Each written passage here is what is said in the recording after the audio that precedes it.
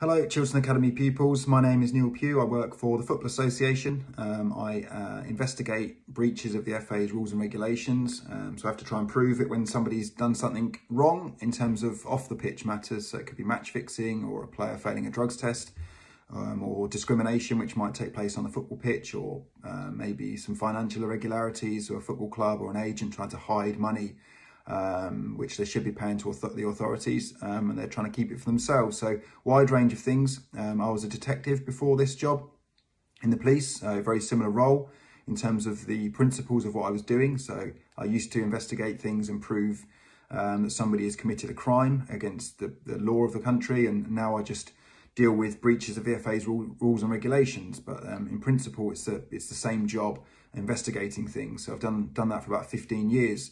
Um, the um, best thing about my job is probably now because I work in football, I get to deal with things that a lot of other people are just reading about on Twitter or in the newspapers and speculating about, um, and I get to to to deal with it in the in the first instance and speak to the people involved and um, yeah and, and, and know exactly what's happening um, when other people are just guessing or um, trying to have an idea about what's what's going on. So it's quite cool to be involved in, in football because people are interested in it, and, and I've been interested in football all my life. So to work in an industry which I would um, that which I would take an interest in, other uh, even if I wasn't working in it, is is really really good.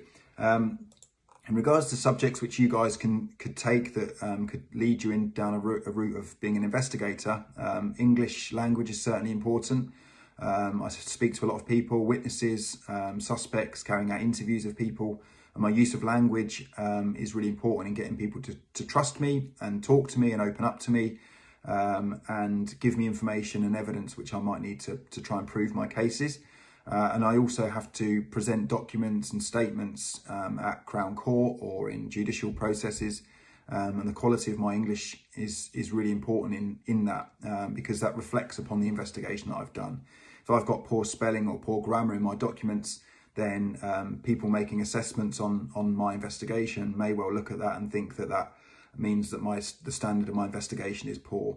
Um, so yeah, the level of your English can reflect upon um, how well you do um, in other areas, which may not be fair or or, or right, but um, I think that's probably a reality of a lot of a lot of work. Um, we, when we're recruiting, get people to write um, they give them five or 10 minutes to write a summary about a document um, without the use of a computer. So we can see how, how good their grammar and their spelling is without, without using something that's going to correct it for them.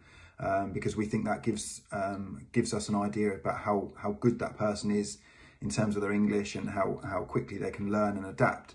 Um, so um, yeah, English language certainly, um, and the other area that I think is quite useful um, for, for carrying out investigations is psychology, um, to understand how the mind works and what motivates people and why people might behave in a certain way is really important in, in trying to understand why they may have committed a crime.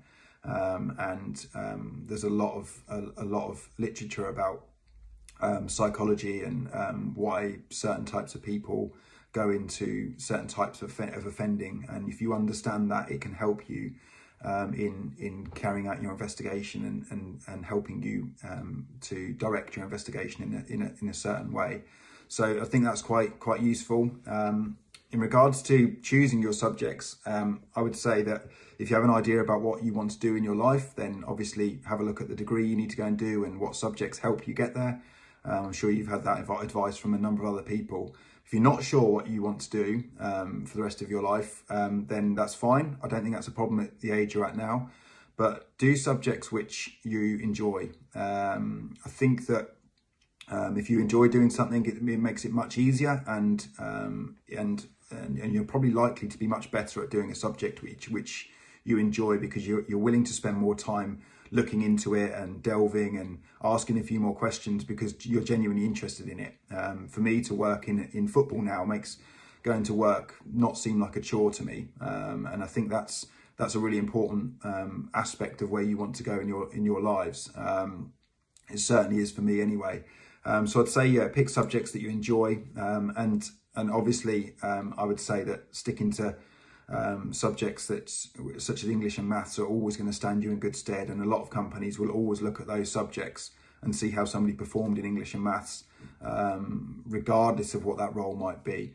Um, so yeah, those subjects definitely, and I think the, the way of the world now is that it's um, it's a much smaller world, and we're communicating with people from different countries much more regularly, and, and so languages are are also important. Um, I've been um, had two job opportunities recently, which I couldn't take because I didn't speak a second language, um, and and I think that's that's much more common now that um, a second language is is um, useful um, in carrying out work for, for, especially for companies that which are international. So um, a language is never gonna never gonna be hold you back. Um, so yeah, that's that's probably my my advice.